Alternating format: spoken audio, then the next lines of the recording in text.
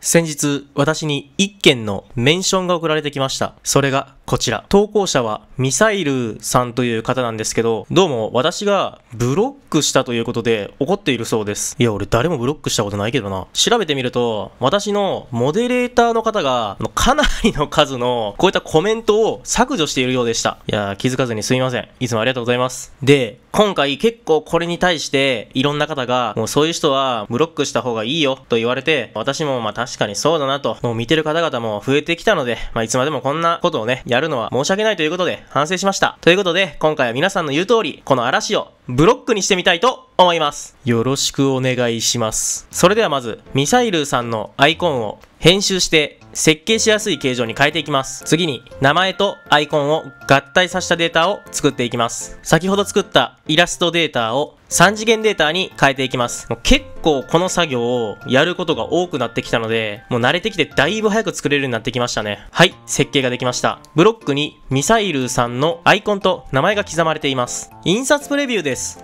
4時間19分かかります。結構でかくなっちゃいましたね。意外とね、樹脂量がかかるんですよね。グラム 80g になります。今回この 6PLA というフィラメントを使っていきたいと思います。こちら、名前の通り岩の粒子が入ったフィラメントです。よく見てみると、確かにこのフィラメントの中に岩の粒子のこの粒が入ってますよね。なんで、このフィラメントで印刷することで、コンクリートブロックのような質感を得れるということです。今回はこれで嵐を印刷してみたいと思います。じゃあ、印刷してこっか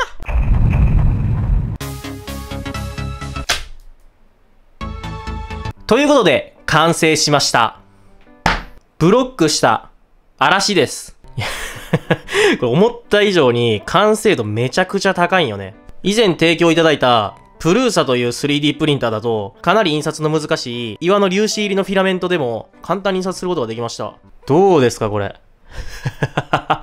なんかもう現代アート みたいになってるな。この文字が浮き出てるとことかがかなりコンクリートっぽいですよね。あとこのやっぱ岩のさ、粒子のつぶつぶ感がほんまに綺麗なんよな。3D プリンターで結構この積層目っていう積層が気になるんですけど、このフィラメントだとその積層が逆に有効活用されて、本当に岩っぽく見えますね。すいません。あの、嵐の型を使って、なんかあの商、品紹介みたいに なってますね。いやーでも素晴らしい。まあ皆さんの忠告を聞いて、やっぱ嵐はもうブロックした方がいいということで、まあブロックにしてみましたけど、確かにブロックにした方がいいかもしれないですね。まあ、ブロックにした方がめんどくさくないというか、まあ、1年後になるとちょっと感慨深い記憶になってるのかなと、まあ、そういったことに気づかせてくれた視聴者の方々、まあ、本当にありがとうございます。まあ、ちょっと私からミサイルさんに言うとすれば、いろんなもう私とは比にならないぐらいの有名な YouTuber の方に、こう、たくさんいろいろとあんま良くないコメントされてるそうなんで、まあ、ちょっとよろしくないですよね。まあ、それだけのこうパワーがあるんであれば、なんかみんながちょっとでもね、面白いと思えるような動画を、作ったらいいんじゃないかなと思います。ということで、今回は嵐をブロックにしてみました。よければチャンネル登録と高評価よろしくお願いします。じゃ、またね。